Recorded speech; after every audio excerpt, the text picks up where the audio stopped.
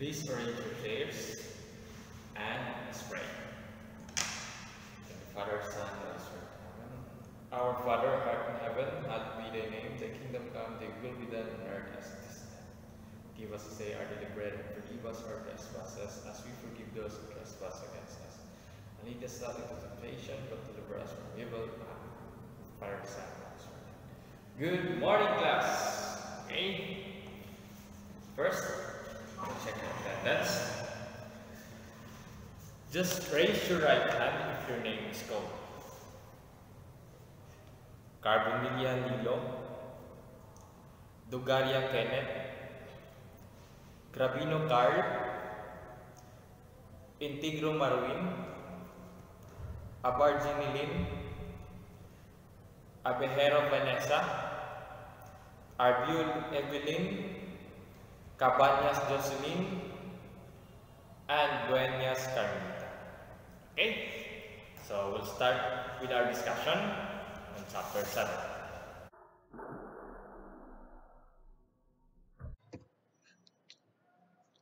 The previous lesson, chapter 6, is about the principles of teaching based on the principles of learning, which is vital for this chapter on management of instruction. The principles of learning provide additional insights into what makes people learn most effectively. The principles have been discovered, tested, and used in practical situations. By knowing some principles on, on how learning takes place, we will be guided on how to teach. Learning takes place properly when it results in satisfaction. Learning is an evolutionary process, sometimes a painful process. It is emotional, intellectual, and is a consequence of an experience. An effective and meaningful learning experience is a product of careful planning. Planning starts with defining the directions to take, in which case efforts are geared toward a specific set of objectives. It concludes the preparation of purposeful teaching learning activities and the provision of a wholesome classroom atmosphere that will provide the best opportunities for an effective teaching learning process. At the end of this lesson, the students can explain the significance of properly constructed objectives, derive objective from goals, determine appropriate behavioral objectives that tap into three domains of learning, evaluate the alignment of objectives and content of a lesson plan. So what is a lesson plan? So it is a systematic process that involves pre-planning, active planning, review planning, and closure planning. So in pre-planning phase, the teacher envisions the possible outcomes and approaches to employ. In active planning, this is the actual writing of the lesson plan. The review planning is the fine-tuning of the lesson plan and the closure planning phase is the pre-identification of the criteria for the evaluation. There are sources of learning objectives. So, constitutional aims. So, these are the goals or objectives that are geared toward the realization of the national development goals provided by Batas Pambansa Bilang 232 Educational Act of 1982. Institutional mission. So, these objectives set by the institution to carry out its vision. The curriculum goals are the goals and objectives connected to programs, the course or subject goals are derived from programs, program activities. Unit objectives, also referred to as classroom objectives, which divide course into several units, and lesson objectives, also known as specific instructional objectives. So, objectives, an objective describes a performance that teachers expect from learners to exhibit before they are considered competent. There are three domains of learning, the cognitive, affective, and psychomotor. The cognitive domain, learning in this aspect refers to the mental process like memorization, ability to think, analyze, and solve problems. In affective, those that deal with the development of attributes like genuine interest, desirable attitudes, values, and commitment as expected learning outcome. And in the psychomotor, objectives that deal with physical and kinesthetic skills, including keyboarding, using technical instruments, and other skills. So these are the three domains of learning, the cognitive, affective, and the psychomotor. So there are criteria of measurable objectives. So measurable objectives are specific measures used to determine whether or not the goal is successfully achieved.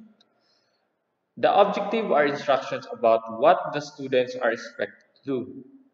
Mayer described the characteristics of SMART goals stands for specific, measurable, attainable, relevant, and time-bounded. So specific, the goal must be clear and unambiguous without unnecessary trimmings. Measurable, it stresses the need for concrete standard criteria for measuring progress. Attainable, the goals are neither out of reach nor below standard performance.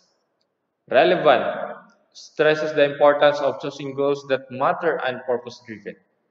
Time-bounded stresses the importance of formulating goals within a time frame, giving them a target date. There are levels of cognitive objectives. So Bloom's and Anderson's taxonomy. So on the left side is Bloom's, while on the right side is Anderson's taxonomy. So from knowledge evaluation and from remembering to creating. So Bloom's identifies six levels within the cognitive domain from simple recognition of facts as the lowest through increasingly more, more complex levels to the highest level which was identified as evaluation. During 1900s, Anderson, the former student of Bloom, made a significant improvements to Bloom, Bloom's original structure. So from remembering understanding, applying, analyzing, evaluating, and creating. So definitions of Anderson's revised taxonomy. Remembering. Can the students recall or remember the information?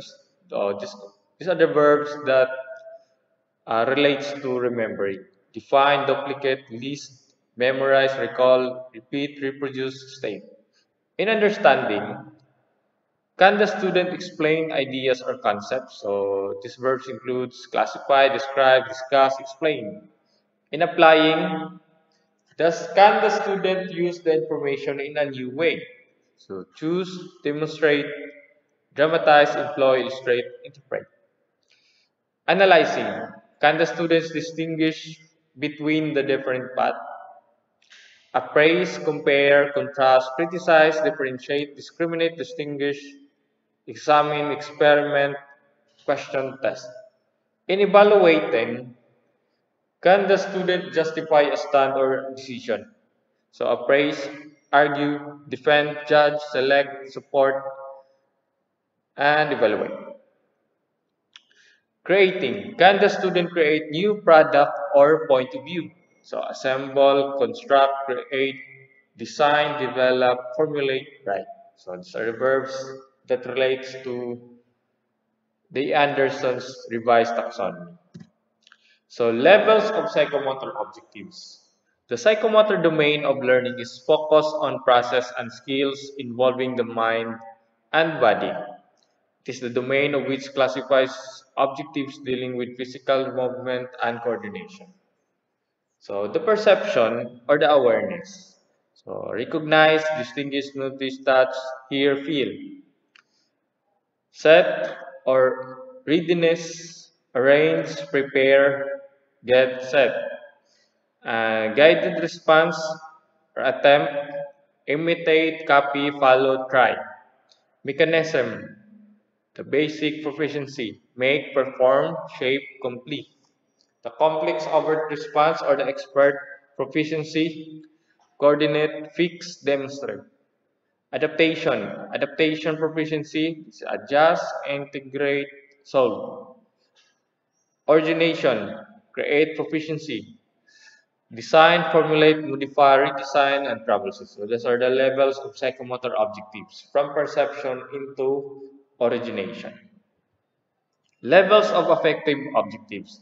The taxonomy is ordered according to the principles of internalization, Internalization refers to the process whereby a person's affect toward an object passes through a general awareness level to a point where the affect is internalized and consistently guides the person's behavior. So from receiving, responding, valuing, organization, and characterization, characterization by value set. So the levels of affective objectives. Receiving, to differentiate, to attempt, to listen. Responding, to follow, to command, to volunteer, to spend, to claim. Valuing, to subsidize, to support, to debate. Organization, to discuss, to theorize, to balance, to examine. Characterization by value or value set. To revise, to require, to avoid, to resist, to resolve. So there are guiding principles for a content. So content selection, the validity, significance, balance, self-sufficiency, interest, utility, learnability, feasibility. In the selection process, the content must be aligned with the goals of education and the institution's vision and mission. Validity, the content must be applicable to different situations, trends, and issues. Significance, content must be reflective of the current needs of the community and the society.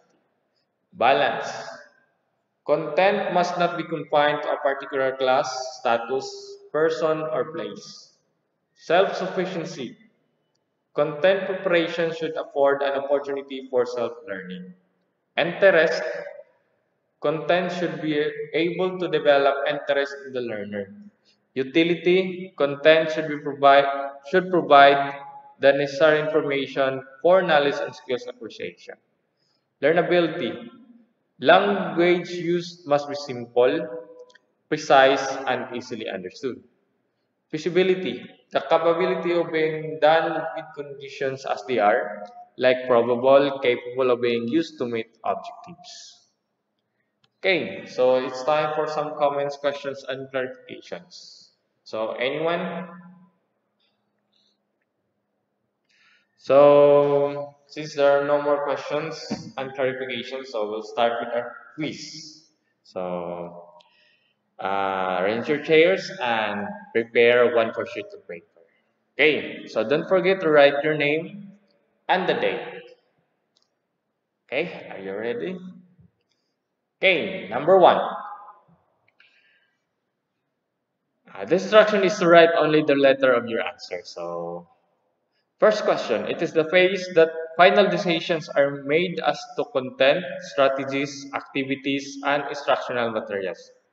A. Pre-planning phase, B. Active planning phase, C. Review planning, or D. Closure planning. So it is the phase that final decisions are made as to content, strategies, activities, and instruct instructional materials. A. Pre-planning, B. Active planning, Review planning, or D. Closure planning. Question number two.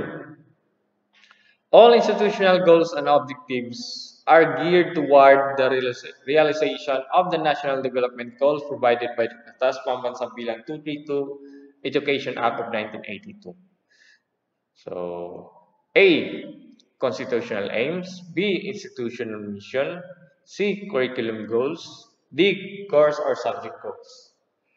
All institutional goals or objects, objectives are geared toward the realization of the national development goals provided by the Batas Pambansang Bilang 232 Education Act of 1982.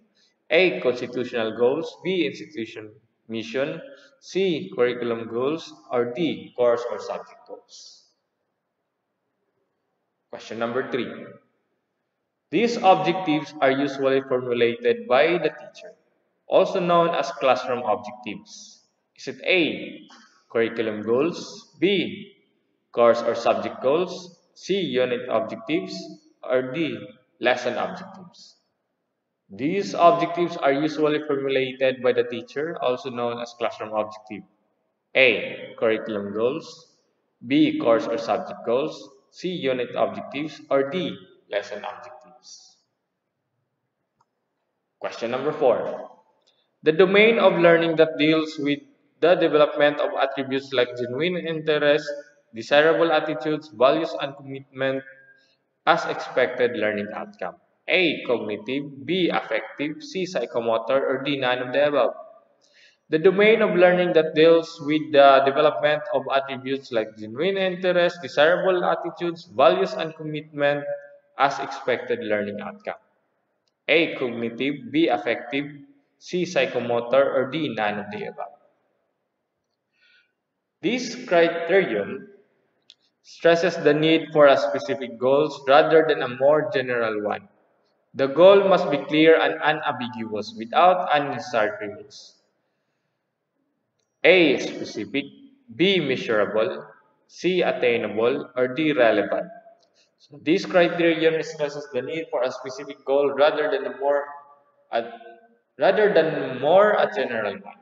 A. The goal must the goal must be clear and unambiguous without unnecessary premises. A. Specific, B. Measurable, C. Attainable, or D. Relevant. Okay, so pass your papers to the front.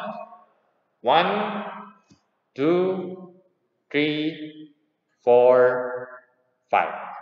Okay, so copy your assignments for the next lesson. For the next meeting. So Based on what you have learned from the discussion, answer the following questions. Write your answers in the one half sheet of paper. So, what is the importance of constructing appropriate objectives? And two, why is there a need for a lesson plan? Okay. So, we started with a prayer, so we'll end with a prayer. Father, Son, God is Saint Joseph, pray for us.